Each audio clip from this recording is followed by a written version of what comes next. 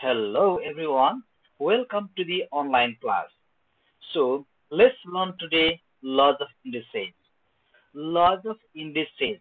Before learning the laws of indices, we discuss about the indices.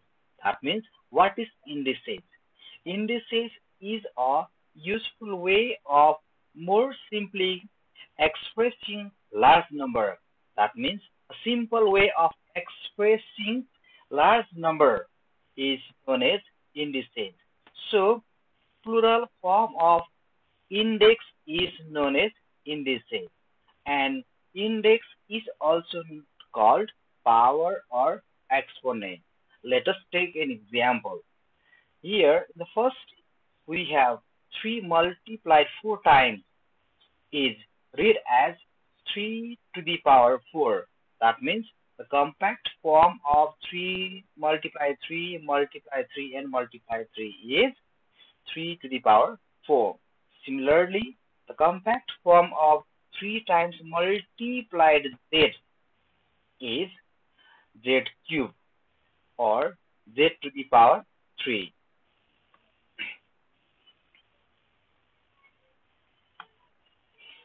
Now, let's start learning the laws of indices. The first law, the product law, which we can see here down that is taken as a variable is a. So we have the base same a and a.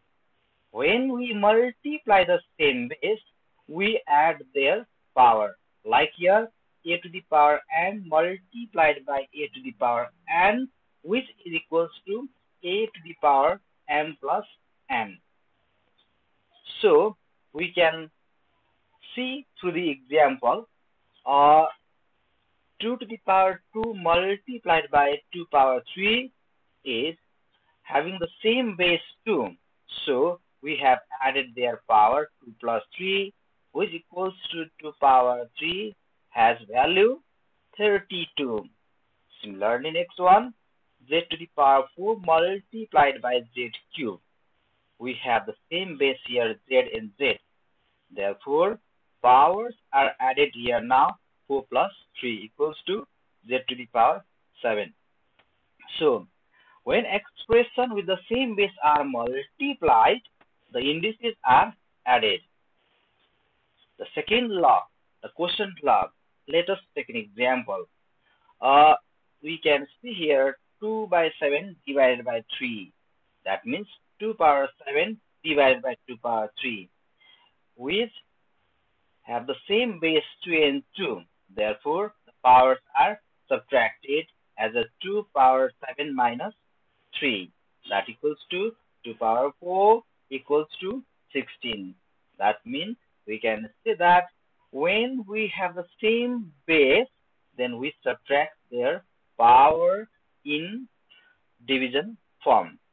That means if you are expressing the division form, then we subtract their power. So here next example you can see by the side. x to the power 7 divided by x power 3 in which we have the same base x.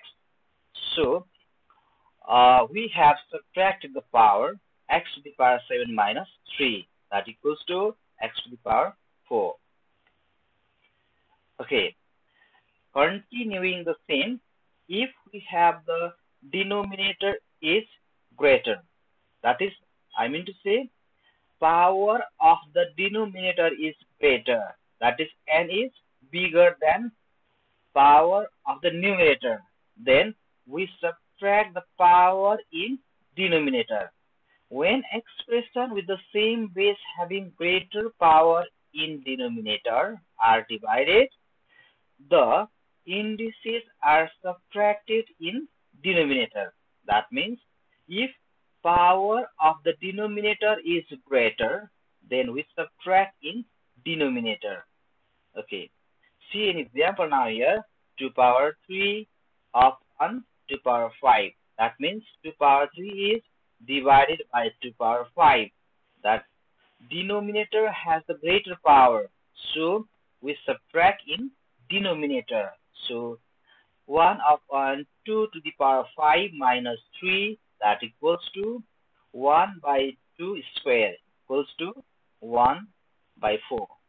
Similarly, x to the power 4 divided by x power 7 or x power 4 divided by x power 7. x and x, we have the common base, that is the same base. So, in case of division, we subtract the power. But here we have power of the denominator is greater. So, we subtract in denominator to get positive power. So, 1 upon x to the power 7 minus 4 equals to 1 by x cube. Third law, that is power law. Okay, if something to the power is 0, except the base is 0, then the value is always 1. Something to the power is 0, that means value is always 1. I did not say that is nothing.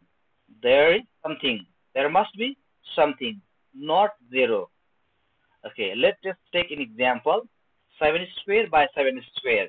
That equals to 7 to the power 2 minus 2 because this is constant form. So value equals to 0.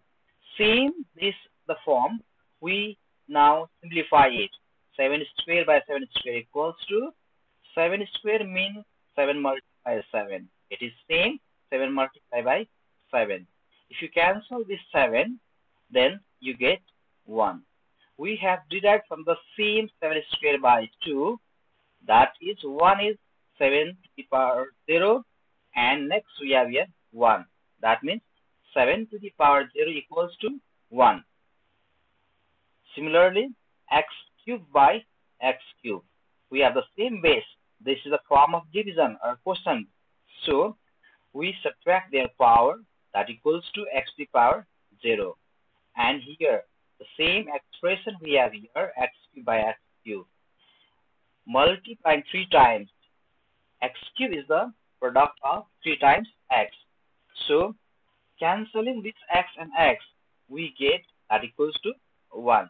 That means we can easily evaluate that if something to the power 0 that equals to 1. Fourth law, power raised to power. When the power, something to the power is whole power multiplied by something. That is, we multiply the powers. Power raised to power. That means we multiply the power. Here, a to the power n whole power n equals to a to the power n multiply n equals to a power mn.